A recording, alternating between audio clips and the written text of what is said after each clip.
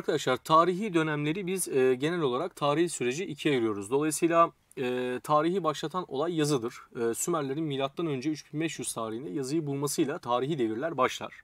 Ve tarihi devirleri biz yazının bulunuşuyla birlikte e, ilk çağ, orta çağ, yeni çağ ve yakın çağ olarak ayırmaktayız. Tarihi çağların bu şekilde çağlara ayrılmasına sebep olan olaylara bakıldığında evrensel nitelikli olaylar olduğunu görüyoruz. İlk çağın başlangıcı yazıyla birlikte başlar, kavimler göçüne kadar devam eder. Kavimler göçü ilk çağı bitirmiş artık orta çağı başlatmıştır ve orta çağ İstanbul'un fethine kadar 1453'e kadar devam eder. İstanbul'un fethiyle birlikte artık yeni çağ başlar ve Fransız ihtilaline kadar devam eder. Ve Fransız ihtilalle birlikte de yakın çağ başlar günümüze kadar devam eder. Şu anda bilim adamları, tarihçiler herhangi bir olayla yakın çağı bitirmelerine kadar şu anda biz yakın çağın içindeyiz tarihi çağlara baktığımızda yazıdan sonraki dönemler olduğunu görüyoruz ve tarihin çağlara ayrılmasına sebep olan olaylar sadece önemli olaylar değil aynı zamanda evrensel nitelikli olaylardır. Yani birden fazla toplum ya da tüm dünyayı etkileyen olaylardır. Ancak biz bu konu kapsamında ilk olarak yazıdan önceki dönemlere bakacağız. Yani tarih öncesi dönemlerine bakacağız. Yazıdan önceki tarih öncesi dönemlerde de sırasıyla yontma taş, cilalı taş ve maden devri olmak üzere genel olarak 3 döneme ayrılıyor. Ve şunu kesinlikle bilmemiz gerekiyor. Tarih öncesi dönemlerde yontma, cilalı ve maden devrinde insanoğlu en ilkel dönemlerini yaşar ve bu dönemde yazı kesinlikle ve kesinlikle kullanılmaz. Yazısız dönemdir. Şimdi konumuza döndüğümüzde tarih öncesi çağlarda öncelikle arkadaşlar eski taş çağına bakacağız. Yani paleolitik dönem ya da diğer bir adıyla yontma taş çağına bakacağız.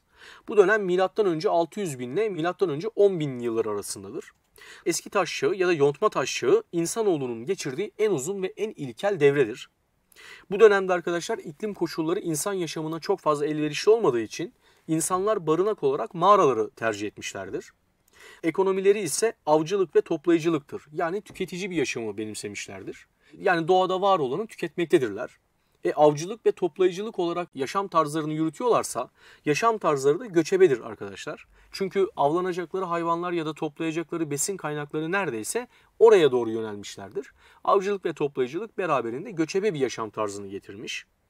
Bu dönemin etkinliklerine bakıldığında insanların kendi yaşamlarını devam ettirebilmeleri için hayvan postlarından giysilerin yapıldığını, ilk ilkel taş aletlerin özellikle uçları yontulmuş, sivriltilmiş taşlardan silahlar yapıldığını görüyoruz. Bu kesici silahların yapılması ya da sivri silahların yapılmasının sebebi avlanma ve yırtıcı hayvanlardan korunabilmektir. Ve yine yontma taş devrinin e, ya da eski taş devrinin en önemli özelliklerinden birisi insanların avladıkları hayvanları birbirlerine anlatabilmek için yaptıkları mağara duvar resimleridir. Aynı zamanda insanoğlunun ilk sanatsal ürünüdür mağara duvar resimleri. Ve arkadaşlar mağara duvar resimleri paleolitik döneme özgü eserlerdir. Burada önemli bir uyarımız var.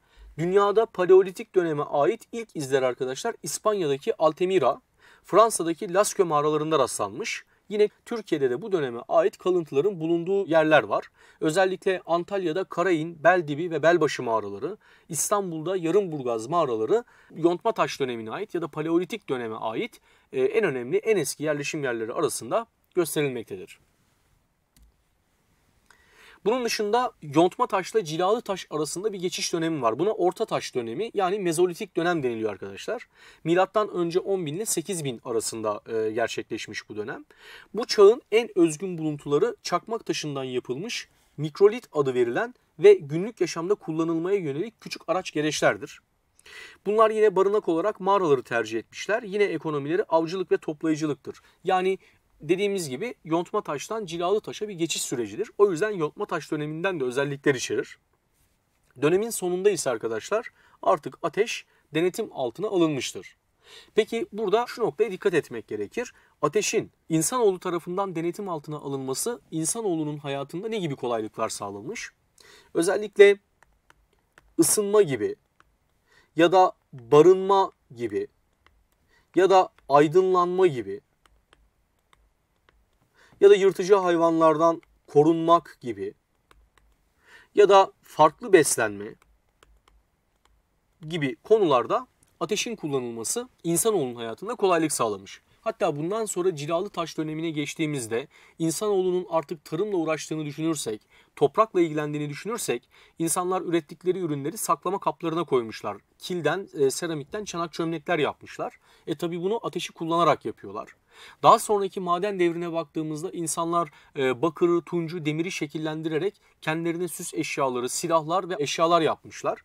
Tabi bunda hepsinde arkadaşlar ateşin kullanılması etkili olmuştur. Müzik